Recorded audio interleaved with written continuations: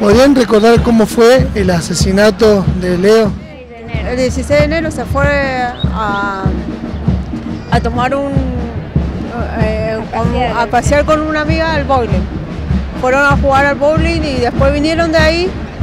Él la acompañó a la casa porque él se iba a mi casa y mi hijo, mi hermano se venía. Cuando cruza el corredor se lo llevan detenido y ahí no volvió más. Nosotros nos enteramos por una prima que nosotros tenemos. eh, ella vino y me dijo, Leo, Leo no está. Mira, salió en la televisión que un tal Leo Rodríguez ahorcó en la comisaría. Le digo, no, mi hermano no es, le dije. Y cuando llegamos a la comisaría ahí contactamos que era Leo Rodríguez que se había ahorcado, supuestamente. Y yo le dije a la fiscal que no se había ahorcado mi hermano porque se iba de campamento. Día después se iba de campamento y quería que le arreglara la, car- la carpa. Queríamos que nos cuenten en qué situación está hoy el caso de su hijo.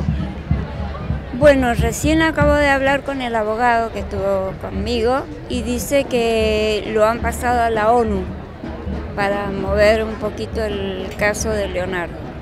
Así que estamos, eh, me dijo que fuéramos en eso. Supuestamente estaba encajonado, entonces bueno, ahora vamos a ver qué pasa. Eso estamos esperando que pase algo, porque eh, se han olvidado de Leo. Porque nosotros no queremos que vaya haya más violencia institucional. Estamos eh, eh, con los pibes, queremos que los chicos No les pasen cosas a los chicos. ¿Algún mensaje que quieras dejarle a las jóvenes y los jóvenes de Mendoza? El mensaje es que todos se cuiden y que podamos seguir luchando por esta Mendoza y por la juventud, para que tengan una buena juventud y no, no sean, eh, como se dice, mal- maltratados por la policía.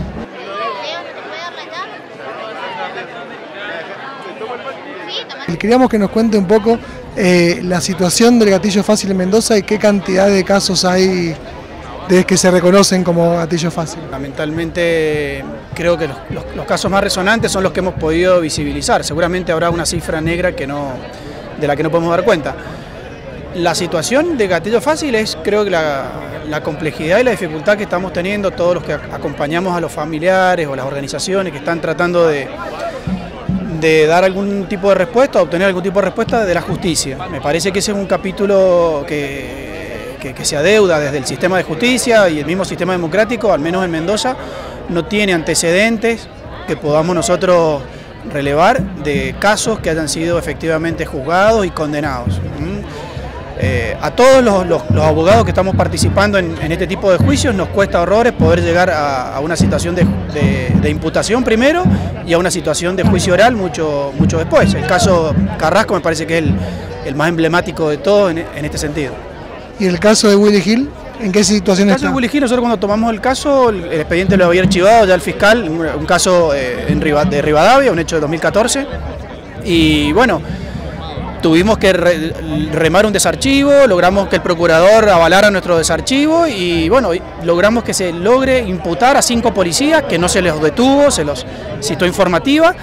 Y bueno, y ahí estamos tratando de pelear la posibilidad de que esa causa sea elevada a juicio. Bien, ¿vos creés que en esta situación política, económica y social, esta situación recrudece o, o hay una cuestión que es más regular y siguen habiendo casos de la misma manera que antes? Yo creo que lo que hay son algunos mensajes que preocupan. El caso de Chocobar en Buenos Aires me parece que es, un mensaje claro que desde el Estado Nacional se baja hacia los distintos agentes de las fuerzas. Eso es lo que nosotros visibilizamos. Entonces es lo que posibilita o da garantías a la justicia de que si no imputa, no investiga o no lleva a juicio, si sobresee, no va a ser señalada por lo menos por los órganos de poder. Son las organizaciones eh, sociales las que están señalando, denunciando y exigiendo desde el Estado, como yo decía recién. El Ministerio Público, que es el primer organismo que debería motorizar esto, no lo hace. Son justamente las familiares y organizaciones las que están atrás de esto. Bien, ¿y algún mensaje que quiera dejar a la comunidad? Creo que hay que seguir eh, haciendo esto, me parece que desde, la- desde lo social, seguir motorizando, seguir presionando, instalar que es un tema central en un esquema democrático como el que nosotros eh, creemos y las fuerzas de seguridad tienen una función y un rol que cumplir y en los casos que, que se dan de abusos como estos y abusos y, y homicidios fundamentalmente deben ser juzgados y, y bueno, que un juez y un tribunal decidan qué es lo que hay, pero eso es lo que nosotros estamos pidiendo. Muchas gracias, Fernando. No, gracias a ustedes.